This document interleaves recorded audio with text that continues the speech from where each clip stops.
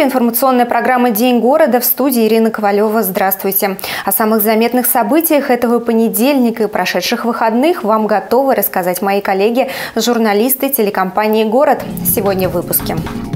Глава императорского дома в Рязани впечатлил ли наш провинциальный город Великую княгиню? 99 лет. Предюбилейный день рождения отметило Рязанское воздушное десантное училище.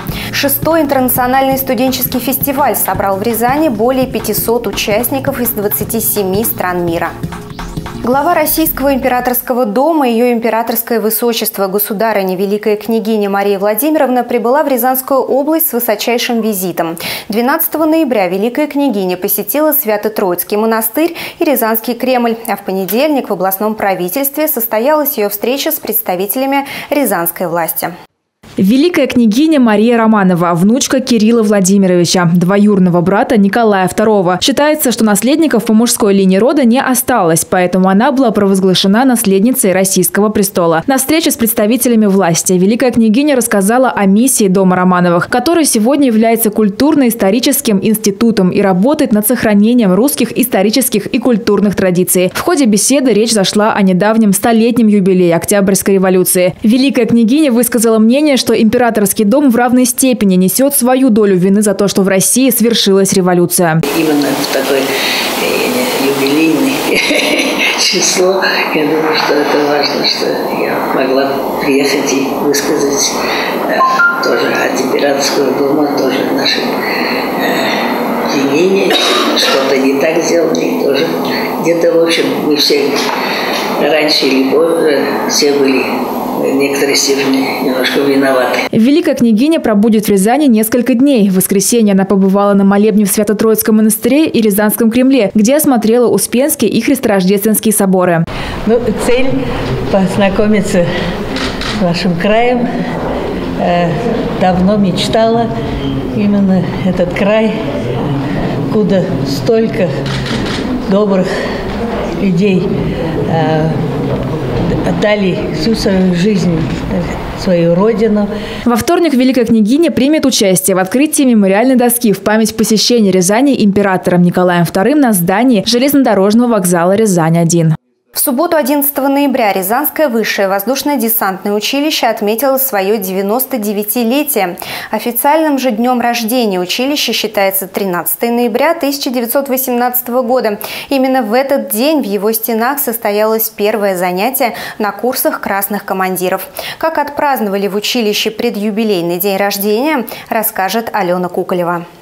99 лет со дня основания кузницы кадров воздушно-десантных войск страны. Военный вуз – один из главных символов Рязани. Не зря город называют столицей ВДВ. Училище выпускает высококвалифицированные офицерские кадры.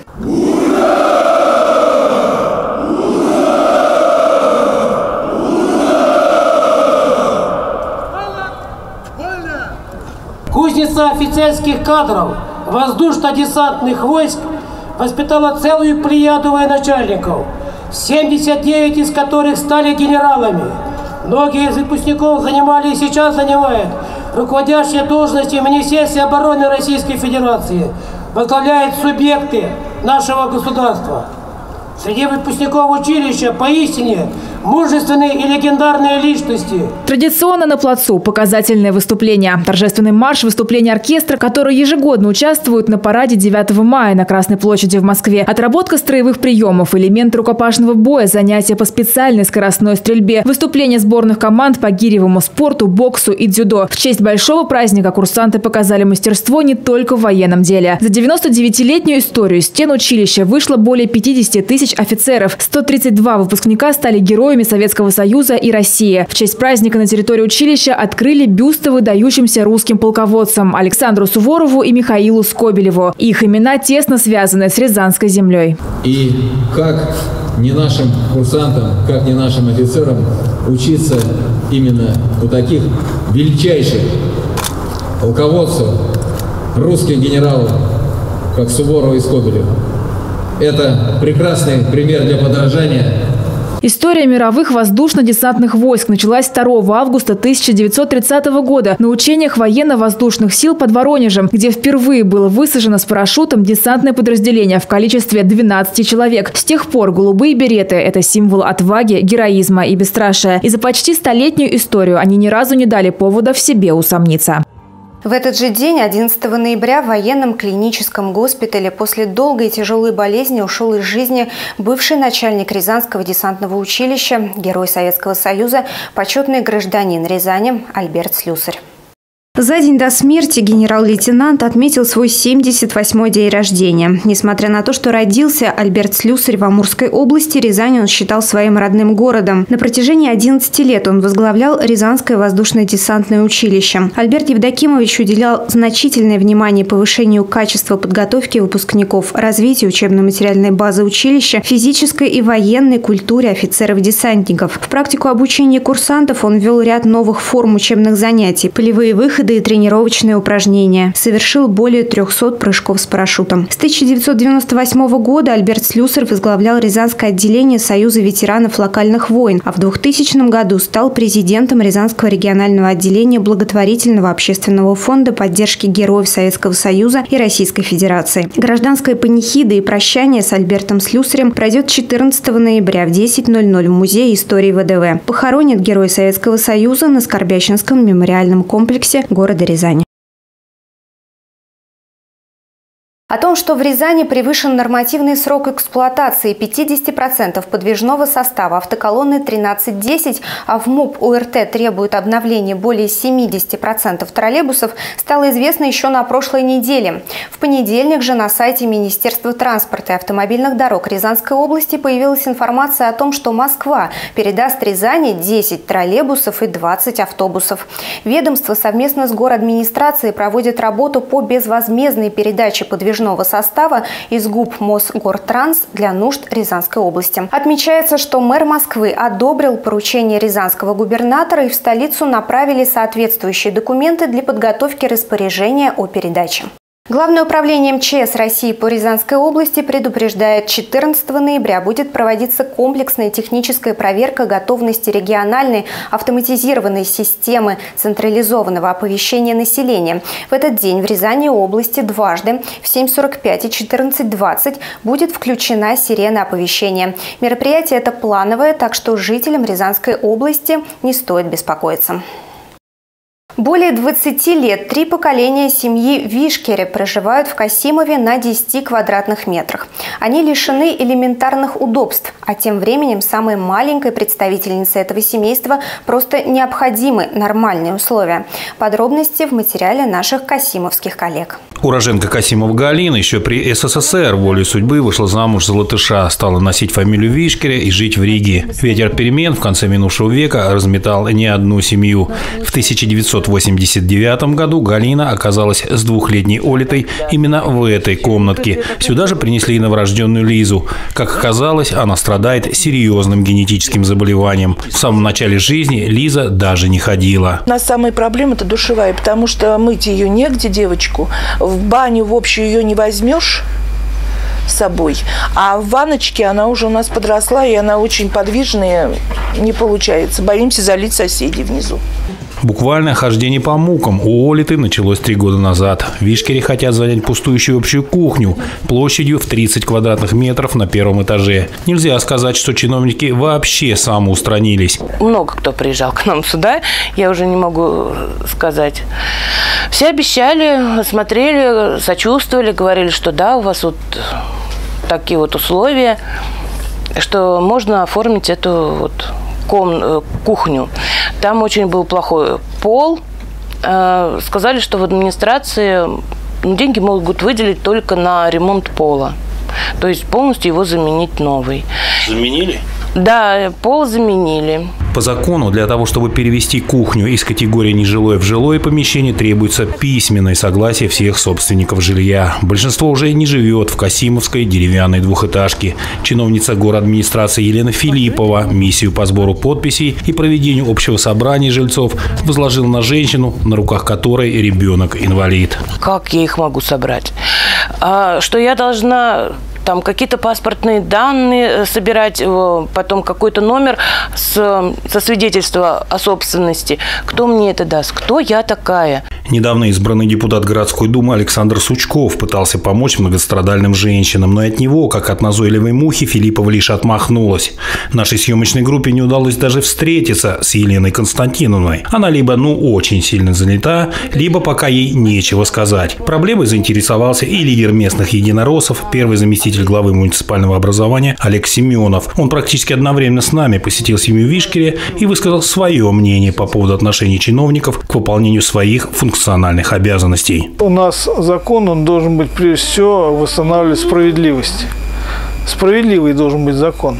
И вот тогда, исполняя этот закон, я думаю, что вот такой ситуации, о которой вы сейчас говорите, не будет просто. Ее не должно существовать, потому что если есть возможность создать для ребенка лучшие условия, какие законы? Мы должны все сделать и быстро-быстро переселить, чтобы действительно э, все были нормальные условия для проживания. Буквально на следующий день после нашего визита в семью Вишкере прошла церемония подписания соглашения о взаимодействии между город администрацией и Касимовскими СМИ. После нее мы встретились с Ниной Никитиной и попросили самой вникнуть в суть проблемы. Прошло несколько дней, Вишкере даже не позвонили. Хотя на словах госпожа Никитина ратует за конструктивизм в работе. Я не хотела бы давать оценку тоже а, там, руководителям предыдущим, потому что я тоже работала в этой команде, собственно говоря. Но э, я считаю, что мы должны взаимодействовать. Вот принцип моей работы – это вообще открытость взаимодействия. Взаимодействие – это не значит, что это мы в одну сторону смотрим, это полярность, это разность точек зрения. Но э, мы должны э, слышать, слушать друг друга и работать во благо. Пока, к сожалению, взаимодействие не получается. А тем временем в этом здании зачастую вершатся людские судьбы. Чиновники росчерком пера могут разрешить или нет сложную жизненную ситуацию. К подобной категории относится и положение семьи Вишкере. 13 ноября 1745 года во Франции родился Валентин Гаюи, известный педагог, основавший в Париже и Петербурге несколько школ и предприятий для слепых. По решению Всемирной организации здравоохранения именно эта дата стала основой для учреждения Международного дня слепых, главная цель которого – привлечение внимания широкой общественности к тем, кто навсегда потерял зрение и оказался в трудной жизненной ситуации. Сразились в знании Брайля. Международный день слепых в Рязани отметили стартом традиционного праздника «Белая трость». Он будет проходить в течение четырех дней. 13 ноября участники показали свое умение читать и писать на языке слепых. Все думали, как бы завести у нас в живом уголке лося.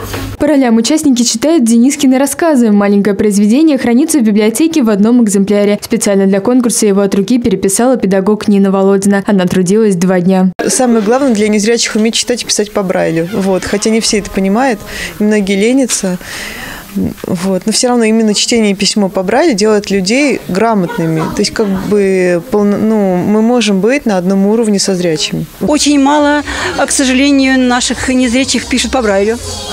Это прям вот э, вроде как в своем обществе мы находимся, а пишут и читают по Брайлю очень мало. Для письма слепые используют специальный прибор. Он состоит из двух частей – доски с дырочками и доски с клеточками. В каждую клетку помещается одна буква, которая, в свою очередь, состоит из шести точек. Пишем справа налево, читаем слева направо, потому что лист переворачивается.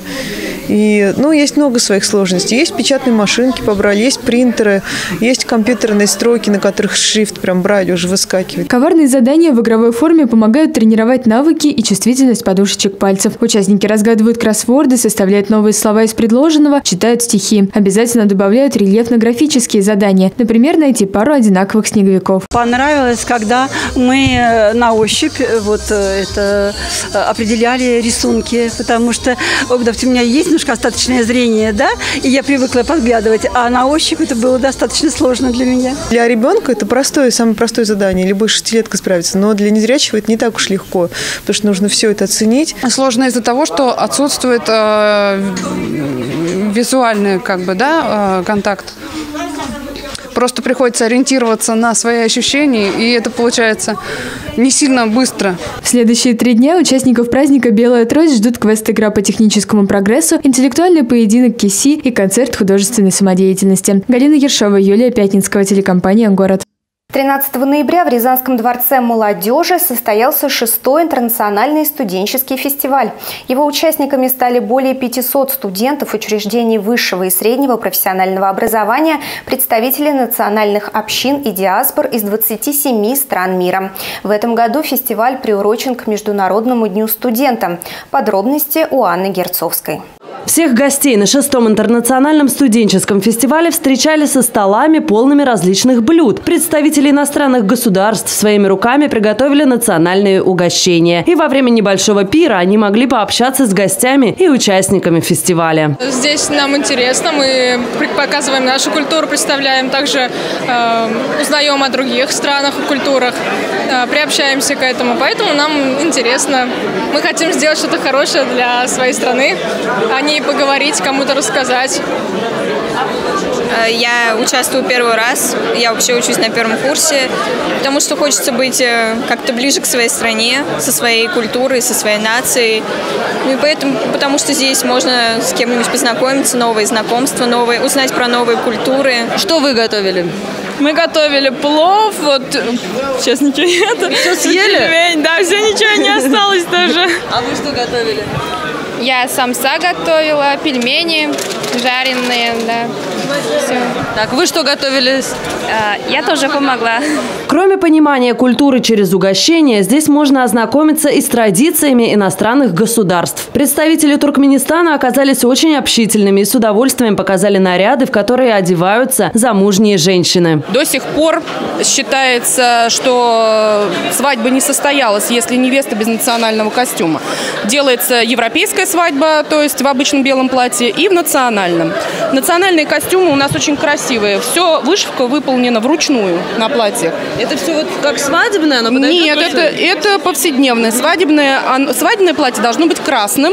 У нас девчонки незамужние, вот в основном все красное носят молодые девочки. Традиции сохраняются и передаются из поколения в поколение. Но не только это объединяет студентов Туркменистана, которые учатся в рязанских вузах. Все они состоят в общественной организации под названием «Рязанский областной правозащитный культурный центр российско-туркменской дружбы». Этот центр помогает при организации выставок, участии в подобных фестивалях и при поступлении студентов. Организаторы оказывают правовую поддержку при зачислении в ВУЗ. Не обязательно ехать сюда. У нас есть электронная почта, есть сайт. А, можно прям из Туркменистана обратиться. Мы все сделаем здесь для них необходимое. Все документы сами отнесем, все им сделаем, чтобы они уже приехали комфортно сюда и уже начали учиться. На этом фестивале можно понять, что крепкие отношения поддерживаются не только между представителями отдельного государства. Такие мероприятия позволяют укрепить связь между разными государствами. Так, на сцене в этот день студент из Марокко читал стихи Есенина под аккомпанемент студента из Туниса. Возможно, именно такая связь государств в будущем способна изменить мир. Недавно прошедший в Сочи 19-й Всемирный фестиваль молодежи и студентов показал, что нынешнее поколение занимают очень активную позицию. Там молодежь всего мира показала, какая она инициативная, что она всегда с горящими глазами, готова менять мир, готова улучшать наше будущее. Там мы увидели настоящую команду будущего. И сегодня здесь, на этой сцене, в этом зале, действительно команда будущего. Это мероприятие также напоминало Всемирный фестиваль, только в масштабах Рязани. Здесь в преддверии Дня студентов более 500 человек заинтересованы в светлом будущем. Они дали это понять и намерены двигаться дальше.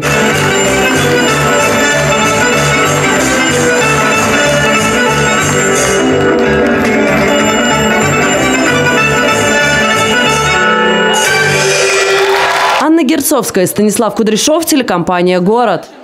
Встреча с летом в середине ноября. Рязанский художник Виктор Грушиновицкий представил свое видение обычных цветов. Зрители привыкли видеть художника в роли абстракциониста, классического пейзажиста, портретиста. Что вдохновило его на новые эксперименты, узнала наша съемочная группа.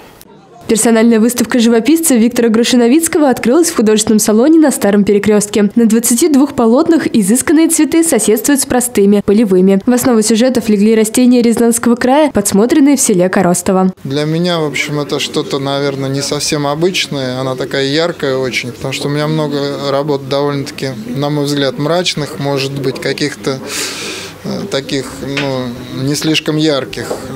А здесь, в общем, такое лето, полевые цветы, гладиолусы, сирень, ирисы, ромашки. Большинство полотен художник написал этим летом. Классический живописец, работающий маслом, в этот раз решил освоить новые для себя краски. Около половины картин выполнены в акриловой технике. Я открывал новый материал, как использовать вообще эти краски, насколько, в какую силу брать цвет. Это ну, определенные технические особенности. В общем, мне было из-за этого дополнительный какой-то интерес в работе появился. Виктор Грушиновицкий привык к минимализму. В его работах много воздуха и пустого пространства, которые помогают создать ощущение фундаментальности. В пейзажах художник отталкивается от горизонтальных линий. Однако в этот раз он открыл для себя вертикальную форму. При внимательном рассмотрении можно заметить, что эта выставка, она готовилась специально для этого помещения.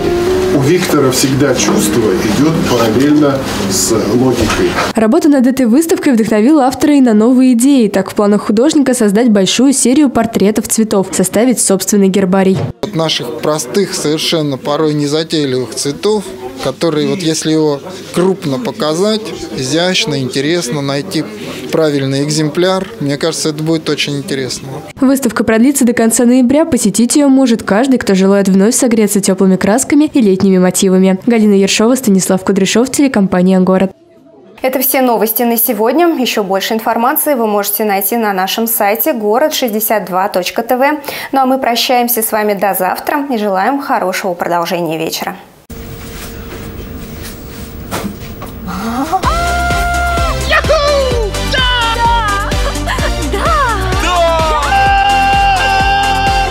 Это случилось! Обвал ипотечных ставок. Квартиры за 5,6% годовых. Только в компании «Зеленый сад» совместно со Сбербанком России и Рязанским ипотечным фондом.